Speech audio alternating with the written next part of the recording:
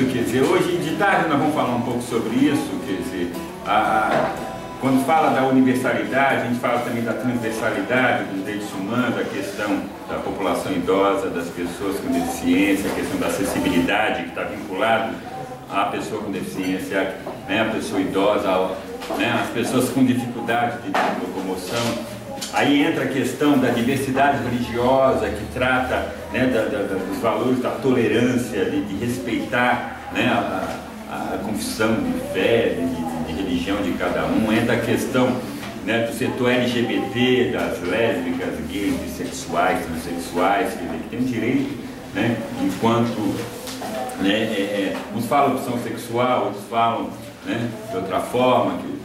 A, a questão da, da população cigana, né, a questão das mulheres, quer dizer, isso, os direitos humanos hoje, ele, né, ele está presente, quer dizer, é o direito à vida, o direito, né, aquilo que, né, vivemos em sociedade. Dizer, de tarde nós vamos falar um pouco mais sobre isso. Mas desse exemplo da Araceli, né, para mostrar, quer dizer, que muito dessas, dessas, desses tratados internacionais, das legislações, quer dizer, é fruto de muita luta.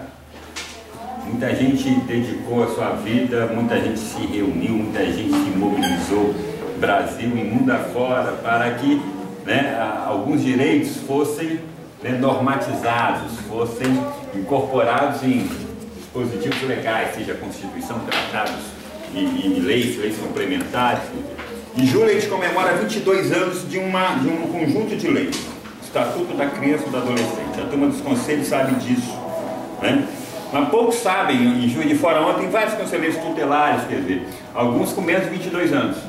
Né? Não sabem que o Estatuto é fruto né, de todo um processo no Brasil de profissionais da área da assistência social, assistentes sociais, psicólogas, mas também militantes de movimentos sociais, militantes políticos, né, que no processo de elaborar a Constituição de 88, né, lutaram para garantir dispositivos lá né, de garantir o direito da criança e adolescente, mas antes disso, todo um processo de né, assistentes sociais, através de seus conselhos, né, se mobilizaram Brasil afora, de buscar um arcabouço legal, militantes pastorais da criança, pastorais da saúde, né, pessoal de igrejas, né, e que hoje tem um ECA. E é preciso, está em processo de aperfeiçoar, né? Nós vamos mandar para vocês, talvez na próxima encontro nosso, que vai ser mês que vem, né? Nós estamos produzindo lá na secretaria um material, quer dizer, que é o Maurício de Souza, da turma da Mônica. O Lula pediu a ele para fazer um materialzinho sobre o que, que é o ECA, o Estatuto, uma revista em quadrinho. Alguns já viram isso, nós estamos produzindo mais, é exatamente para se trabalhar nas escolas. Né?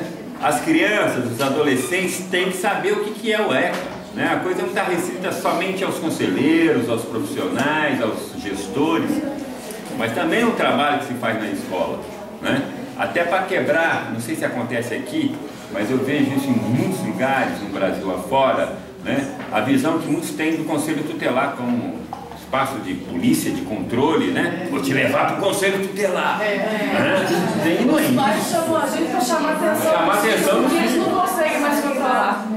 Exatamente. Então nós temos que quebrar essa ideia, né? E ah, essas crianças estão abusadas, a culpa é do ECA, né? Na escola tem professor que fala, né? A culpa é dos capôs, né? Que protege esses meninos, tá entendendo? Então, quer dizer, agora o Estatuto é um, é um conjunto de leis, de direitos para né, preservar a, a, vida dessas crianças, os direitos dessas crianças, adolescentes. Né? E isso nós temos, é uma luta permanente. Hoje há setores na política brasileira, estou falando de deputados, senadores e, agentes públicos, que é contra o Estatuto. Né?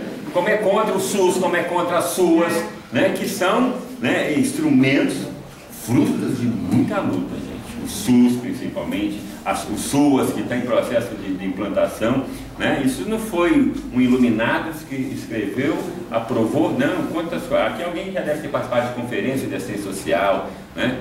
Nós estamos na nona conferência da criança e adolescente, a ciência social deve estar por isso também, décima, nona, né? Mas antes disso, quantas reuniões, quantas mobilizações, quanta luta né? aconteceu país afora, cidades como Lima Duarte, está aqui a Alice, né? Lenice sabe, né? e participou intensamente desse processo e depois vem aquela luta para garantir na Constituição Federal Brasileira, em 88, né, a luta para que os movimentos pudessem se manifestar, foi as emendas populares, quer dizer, o povo podia propor né, alguns, né, alguns aspectos da vida, né, que vai desde a criança, mas passava pela educação, meios de comunicação, a questão da, da mulher, a questão do negro, e muitas coisas foram garantidas na Constituição. Quer dizer, a luta fez a lei, mas vai ser a luta que vai garantir que essa lei seja né, aplicada.